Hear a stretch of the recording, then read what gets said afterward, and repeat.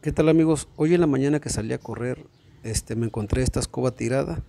Realmente, este, aún tiene uso. Miren, estaba con el palo, es precisamente, pero yo creo que la tiraron porque ya no, ya no aprieta en la escoba con el palo. Es muy sencillo, solamente, este, se le puede hacer un orificio, un orificio a, a la escoba, al plástico.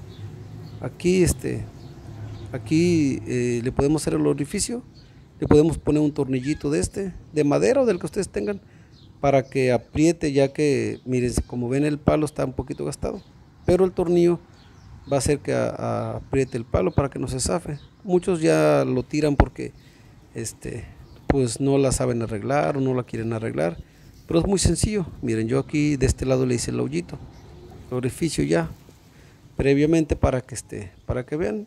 Aquí ya más le ponemos lo que es el palo de la escoba lo atornillamos hasta donde alcance o si no, pues simplemente este, introducimos el palo en, lo que es la rosquita de la escoba.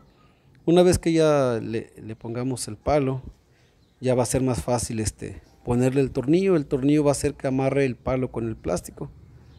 Ven, esta escoba todavía está buena, todavía sirve para barrer tierra o para barrer así cosas especiales, ya sea el piso, para lavar el piso este, si tienen mascotas, para lavar el piso de las mascotas. Ya más le aprietan el tornillo bien, así, para que agarre lo que es el plástico y para que agarre lo que es este, la maderita, o el palo de la escoba más bien.